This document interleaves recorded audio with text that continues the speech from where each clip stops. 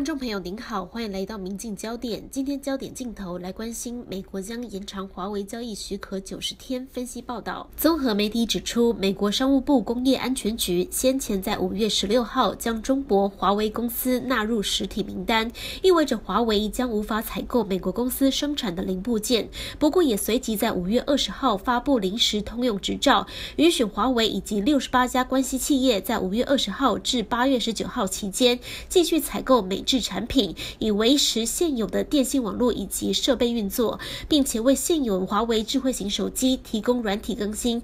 只是华为在没有执照的情况之下，依旧不得购买美国零组件来制造新的产品。美国总统川普周日直言，华为对国安有威胁，他不想要有生意上的往来，一切要等到本周一才会做决定。接着，美国商务部部长罗斯在十九号宣布，美国将会延长华为的交易许可九十天。换言之，华为可以继续从美国采购部件，以及向美国客户提供服务。不过，罗斯同时表示，四十六家华为的分公司将被添加到美国的实体清单当中，也就是美国企业无法在没有经过政府批准的情况之下与这些公司有商业往来。目前，美国政府实体清单当中已经有超过一百家华为分公司。罗斯说，延长许可令是为了让华为的美国客户有更充分的时间来脱离。华华为设备转投其他公司。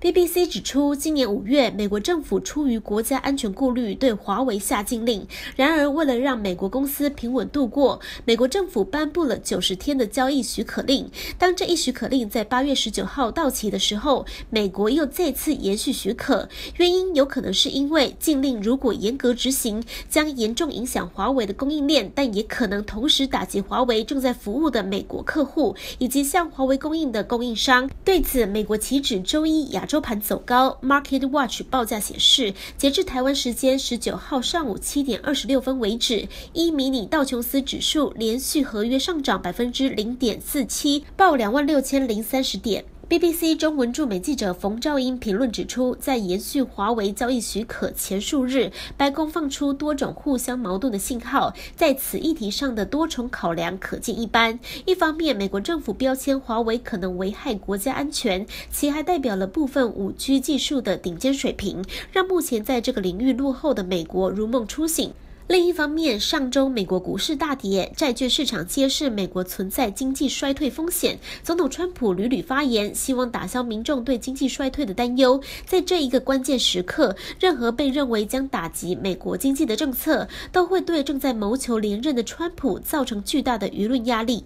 而在二零二零年大选在即的大背景之下，在国家安全以及经济衰退压力之间，川普政府如同走在钢索上，小心谨慎。华为的许可令。得以延续，估计是得益于此。按此逻辑，美国原定在九月一号新增的百分之十对华商品关税，可能也会在最后时刻被喊停。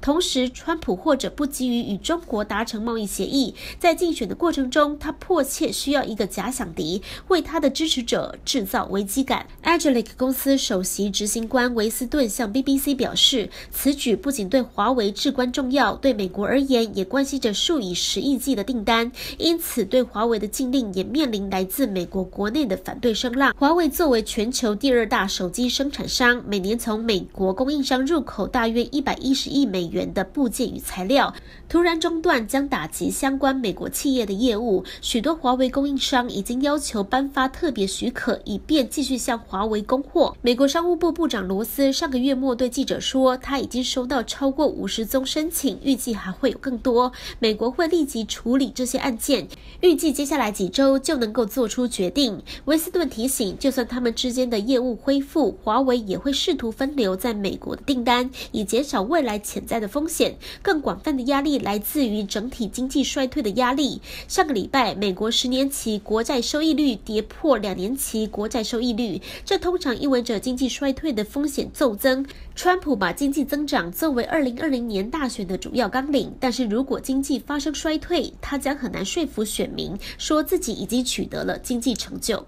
新浪科技报道指出，华为七月三十号举行上半年业绩发布会，营收成长是百分之二十三点二，利润率八点七趴。换句话说，经历中美贸易战火以及美国禁令，华为上半年营收仍然是保持在百分之二十三的增速，营收超过人民币四千亿元。华为董事长梁华表示，即便在美国禁令之下，华为也没有一天停止生产。全年业绩虽然受到影响，但是各项财务指标仍然是良好，现金流。也为正，华为将持续补漏洞。现在主要是剩下消费者业务的洞要补齐。不过，华为董事长梁华表示，二零一九年下半年以及二零二零年是华为艰困期，首要任务就是要存活下来。华为将在二零一九年内大手笔投入一千两百亿元用于研发，确保公司能够度过这最艰难的时期。此外，他也向美国喊话，虽然美企逐渐恢复供应。但是，像谷歌、GPS 等等关键供应商依旧是断供状态。未来，华为在高端新产品上会增加自己能够掌控的供应比例。明记焦点整理报道。